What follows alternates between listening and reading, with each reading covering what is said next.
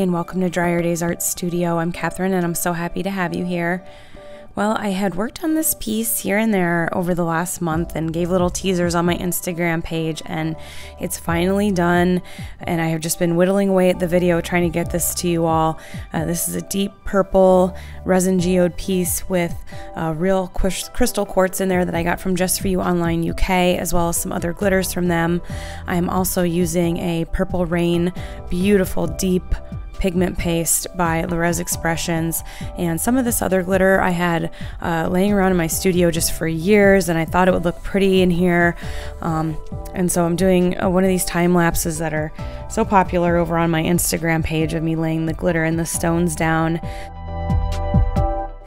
And uh, these little stones that I'm showing, those, the crystals are from uh, Just For You Online UK. And then the purple ones that I'm putting in and around it are actually beads that I got on strings from Michaels. So uh, you can find them really on sale there. Sometimes find some really nice pieces. And I know other uh, art supply suppliers out there also sell uh, real stones in these shapes. So definitely keep your eye out for that. You can find them all over the place. I know there's people even on Instagram that sell them. So just keep your eyes open.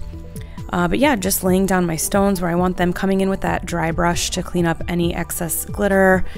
Um, I do like to get that loose glitter down where I can because I'm a control freak. and I like to have it down where I want it before I come in with that resin and everything moves around.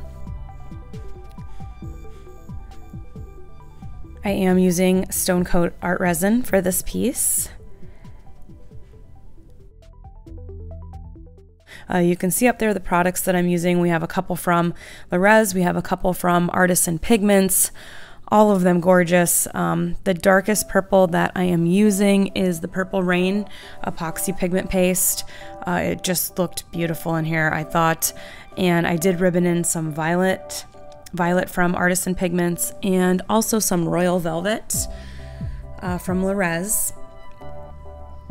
And I also was using the Alexandrite uh, from Le Res. You can find that in Laura's Art Corner.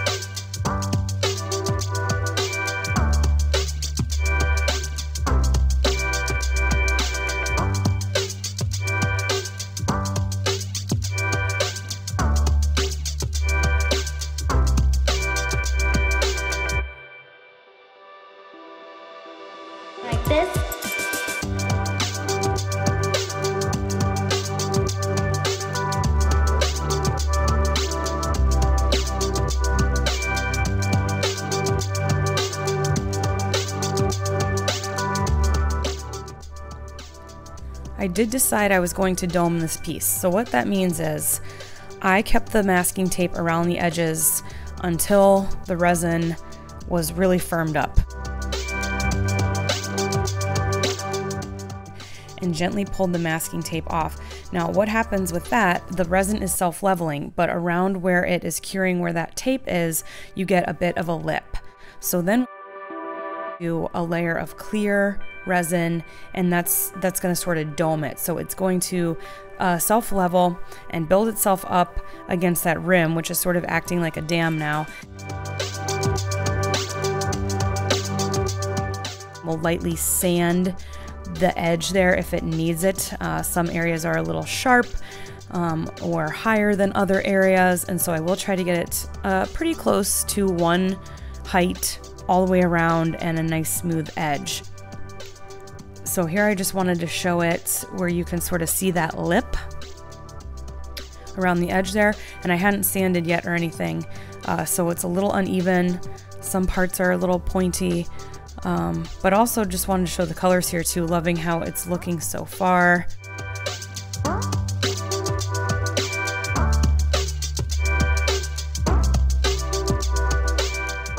My favorite, favorite Uniposca markers. All the products that I use are listed in the description, so if you need any tools or products, please check out those links. Anything that you click on and buy via my channel uh, helps support my channel, so I greatly appreciate that. I also have a Patreon and a PayPal account if you want to make a one time donation, help support my channel, or become a patron. I have lots of rewards for my patrons.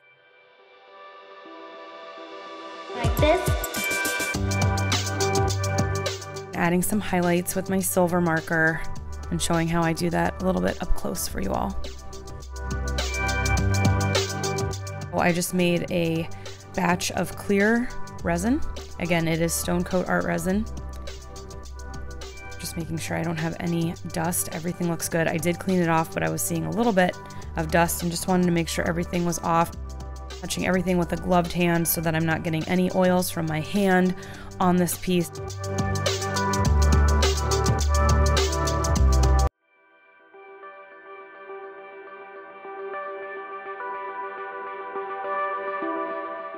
In the natural light, trying to focus here. Uh, you can really see there in the dark purple where I added that alexandrite and the violet and even a little bit of a silver in there. Uh, I just love the flow of the colors. It really, you have to see it in person. I say this all the time with these resin pieces, but the video, the photos just don't do it justice. I have clients uh, message me all the time after they get the piece that it's just so much more beautiful in person. You can see they're nice and flat, beautiful dome effect and then a little bit of texture with those crystals popping out of the middle. I'm very happy with this piece. Thank you guys so much for watching. Please like, comment, and subscribe. Check out the video description for all the products I used, as well as my Patreon, PayPal, Facebook, and Instagram. I appreciate you all so much. And until next time, keep on pouring.